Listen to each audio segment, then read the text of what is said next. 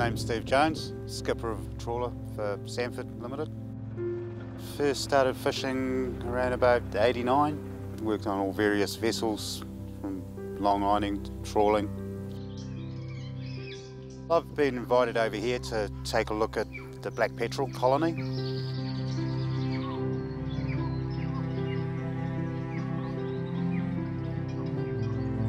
I see seabirds all the time, but got no understanding of where they go, what they do. I thought it'd be an opportunity to see what they're all about.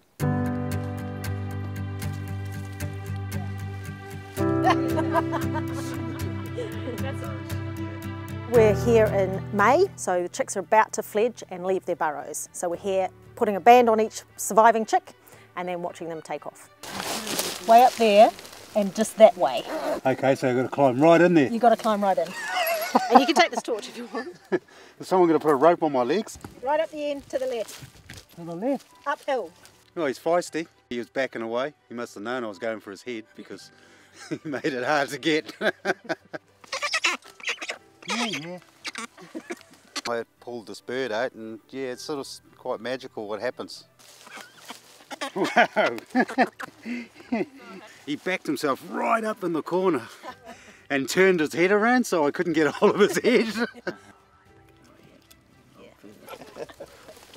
Go on.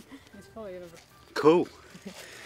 The parents seem to come back, you know, two to three weeks after they've given them their last feed just to check, Check that they're gone or not. Okay. Because we have on occasion found a parent in there and the chick's gone, so they must have just come back to have a quick check. But generally, yeah, they do this abandonment thing and harden up, get out Yeah, to sea, yeah, you can yeah, do it. yeah, yeah, and then yeah, and then the chicks realise, oh shit, Yeah. I'm not getting fed, I better go and find how to get food, and then Yeah. they fledge.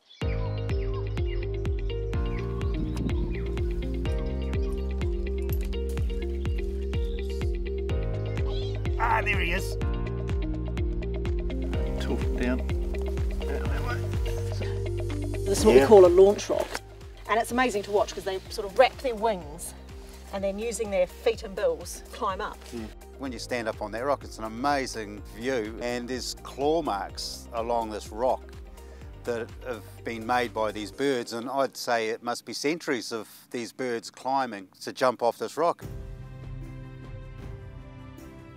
Sanford's role in all this, we're signatory to the Black Petrel Working Group and we signed off on a pledge in 2014 along with other fishers, government organisations, um, non-government groups um, to be looking after the petrels. So we understand the risk to them and we want to do our bit to ensure that they thrive and survive in this environment.